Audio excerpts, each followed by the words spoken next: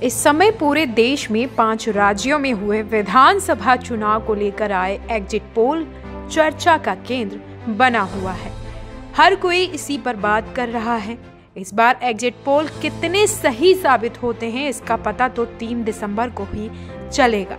लेकिन फ़िलहाल इसे लेकर राजनीतिक चर्चाएँ खूब तेज हो रही हैं। सोशल मीडिया प्लेटफॉर्म से लेकर न्यूज़ चैनल और अखबारों तक पर यह छाया हुआ है आज हम आपको बताएँगे कि एग्जिट पोल से जुड़ी कुछ ऐसी जानकारी जिसके बारे में शायद ही आप जानते हो।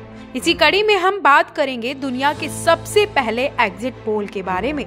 आइए जानते हैं कि आखिर ये कब हुआ था। दुनिया में पहली बार एग्जिट पोल संयुक्त राष्ट्र अमेरिका द्वारा 1936 में कराया गया था। उस समय चार्ज गलप और क्लार्ड रॉबिसन ने चुनावी सर्वे कराया था। रिपोर्ट पोलिंग बूथ में वोट डालकर बाहर आने वाले लोगों से पूछकर तैयार की गई थी। सर्वे विश्लेषण का एक रिपोर्ट तैयार किया गया। उस रिपोर्ट में बताया गया कि फ्रैंकलिन डी रूजवेल्ट चुनाव जीत जाएँगे और ये रिपोर्ट सही साबित हुई।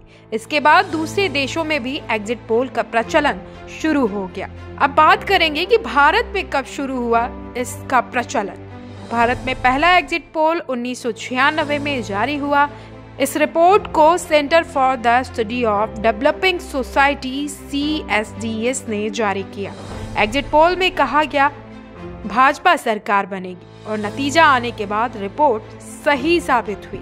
इसके बाद भारत में एग्जिट पोल काफ़ी लोकप्रिय हुआ और जब भी लोकसभा चुनाव या विधानसभा चुनाव होता है तो उससे पहले जैसे ही वोटिंग होती है, उसके तुरंत बाद ही एग्जिट पोल के नतीजे जारी किए जाते हैं। Bureau report, TV 24 Lucknow.